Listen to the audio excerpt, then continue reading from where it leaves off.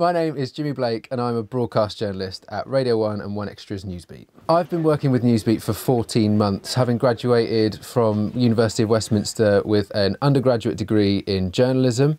Uh, I got here through a series of work experience, placements and generally just hassling them a little bit and being a bit persistent in getting in here and getting my foot in the door.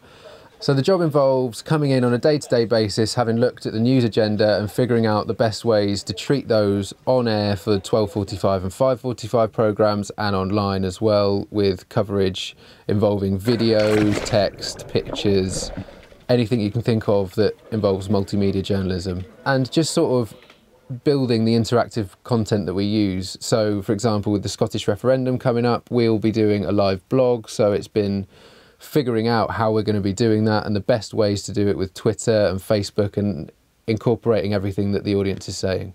I think my time at University of Westminster really helped in that it gave me a hands-on approach because it's not just radio, it's being able to film, shoot, edit and also radio skills as well.